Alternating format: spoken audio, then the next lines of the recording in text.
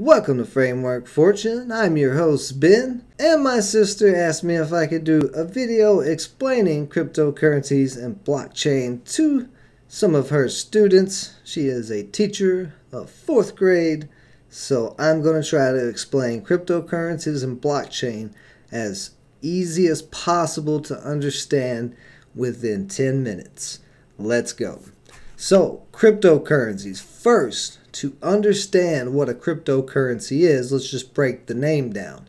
Crypto is synonymous with digital currency, of course, is what most people think as the US dollar here in America. So, your house, your condo, your apartment, whatever you live in, that has value. The US dollar, however, is not money technically because those pieces of paper or the digital numbers that get put into your bank account do not have any value. If you were to take the whole idea of currency away, you would just be holding pieces of paper in your hand.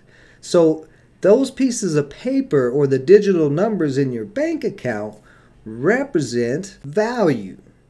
They don't have value, they represent value. But the value that the US dollar represents is the value of the United States. Let's take a closer look into monetary or money value versus currency and what they actually are in the definition terms. So monetary value is when you own an item that has value. Example, Beth brought her favorite toy to school and Bonnie brought her favorite book. They both have something that is worth money, monetary value, even though they are different. If Beth wants Bonnie's book and Bonnie is willing to trade for it or sell it, then she could trade maybe her favorite toy to get Bonnie's book. So that would be a buy and sell, which is a transaction. Now, that gets kind of difficult when you're talking about the whole United States and a whole bunch of different people. But we need currency, we need those US dollars or some type of form of currency to be able to make transactions a lot easier, buying and selling. If you went into the store and there was a candy bar and the price tag was $1.99, that's what you're used to seeing, and that's because it is marked in the price of US dollar currency. If we did not use US dollar currency and we had no system of currency, then the price might say three chicken eggs or five gummy bears. Well, if you got three chicken eggs or five gummy bears that you can trade for the one chocolate bar, you know, there's so many different variations, different things that could happen, and it's just too confusing. It sounds confusing as I'm saying it. So that's that's what currency is for. Moving value from here to over here. So now that we know what currency is and we know what value is, the difference between money and currency, we can now understand that these digital cryptocurrencies are used to make transactions within their digital world. So, to understand that, we've got to go just a little bit deeper. But don't worry, we're almost there. So, blockchain is the value behind the cryptocurrencies.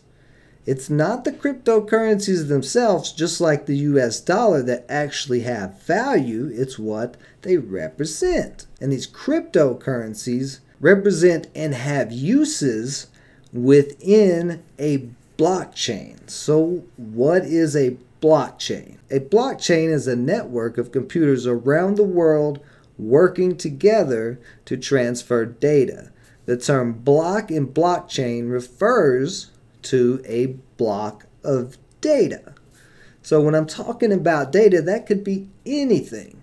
Think of each of these blocks like a little Lego block. And that little Lego block has some data in it. For example, let's say that data block has your favorite food and your crush that you have right now. It has that information in that block of data in that Lego. So it starts out with the first block of data, and then when a new block of data comes in, when there's more transactions, or in this case, say you decided you wanted to put in your shopping list for Christmas in the second block of data. Well, the second block of data will attach to the first block of data, that original block, and they will communicate with each other. That's where the network of the computers all around the world working together, they're all talking to each other to move this data around. So when those two blocks start talking to each other, those two Legos they're trying to attach, when it sees your crush's name in the new block and it matches to the old previous block, then they will connect like Legos. Say you were making a Lego snake. That attachment of the new block to the old block is the chain. So that's how the blocks chain together. As new information is added, it is verified by the previous blocks. So because it's just as simple as Legos attaching to each other, that means that the old ways that we move data and held it in these giant computers and all of that, now that data can be moved around the world within seconds, stored in the internet cloud, in the blockchain, so it's not on those big computers. And because it's so simple, it costs way less money to transfer that data. So now that we understand what blockchain is and why cryptocurrencies have value, is the value from the blockchain, what can the cryptocurrencies do? Well, in a lot of blockchains, those networks of computers that are working together are using their energy and resources to secure all of that data being transferred.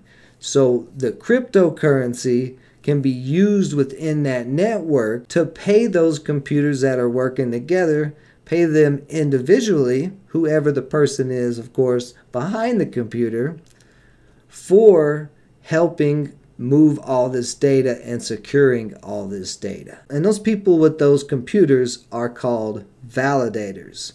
The technical term for those computers that are working together are called nodes. So when you hear the term node validator, that is just a person with a computer in the network and they are making sure that all the blocks that come through match all the previous blocks so the network stays secure.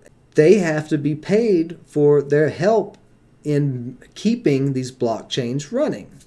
And that's where you'll see these node validators being paid in cryptocurrency. And that's only one use case of how the cryptocurrency can flow within a ecosystem of a blockchain. Now, cryptocurrencies have another purpose which is their original beginning purpose when a new blockchain is created, and that's to raise more money so the blockchain can be developed. It takes some time and some money to create the computer language that the computers in the network will be speaking. So, in order to raise that money, the blockchain will release its cryptocurrency to the public to buy and sell and invest in, just like a company in the stock market does with its shares. People think that a certain cryptocurrency is going to go up in price because of that blockchain technology behind it is getting better and better.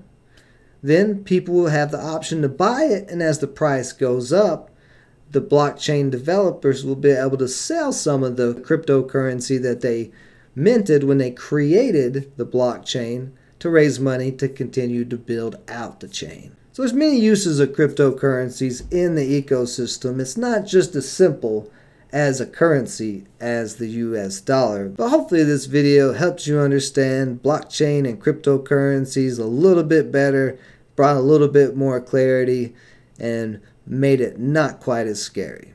Appreciate everybody joining me as always. Stay safe out there. Until next time.